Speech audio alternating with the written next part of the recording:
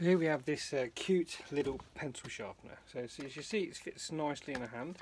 Um, it's very easy to operate. I absolutely love it. Um, so here's a pencil I've done earlier. As you can see it's nice and sharp. And here's one that I'm going to show you how to use. So what you do is it goes in the hole and as you turn it it pulls the pencil in. Keep it nice and straight. So you lock it in there and then just hold the top and then turn. When you want to take it out just reverse it. Not quite done on that one let's put it back in. Pull it in. Look at that. Absolutely fantastic. It's a superb bit of kit. Out you go. Nice and sharp. When you get rid of the shavings just pull out the smiley face.